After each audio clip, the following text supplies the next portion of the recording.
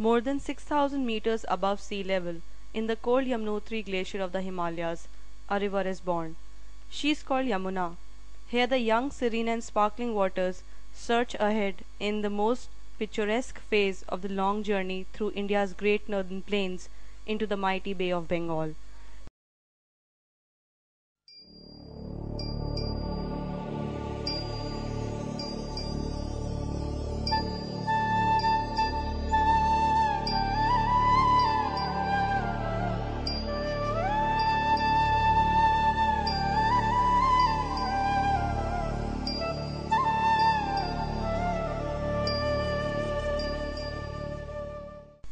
Gradually the journey becomes tedious, burdened by the terrible onslaught of pollution she faces in the capital. Her dismal transformation from Yamuna to Meli Yamuna starts in the 22 kilometer stretch through Delhi, appearing more like industrial sludge, stinking and choked.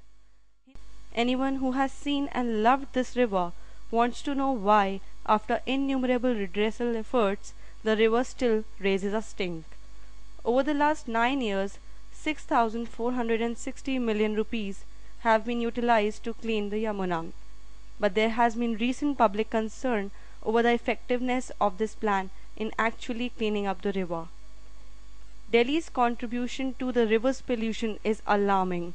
It generates 3,600 mld of wastewater against its capacity of 2,000 mld and this contribute to almost 79% of pollution.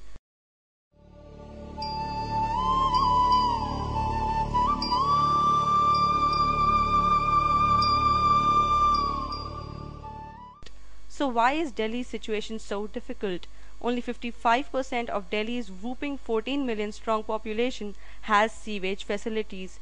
10% of the slum dwellings is along the river. Waste from the areas flow directly into the river.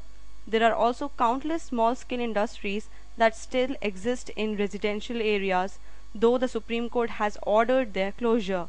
An ordinary citizen is not emotionally involved with the crisis faced by Yamuna. The government and Delhi's citizens are involved in the blame game. The age-old practice followed by the Hindus of disposing material from religious ceremonies into rivers and of appeasing the dead by letting human ashes flow down rivers is adding to the problem. This, however, is a sensitive issue as it involves religious sentiments.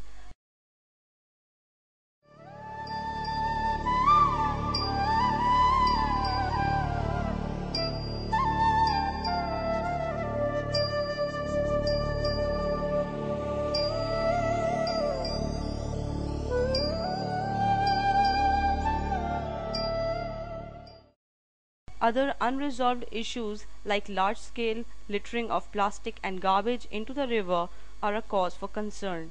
The government has not yet considered any bans, fines or penalties for people caught littering the river.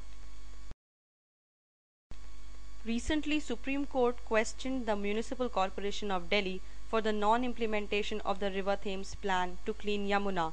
Despite being passed, this plan has not seen light due to utter negligence of MCD officials. It is certain that no amount of funding, planning or fines will help unless there is genuine desire among people and officials concerned to see a clear river again. The river is silent, her soul tormented.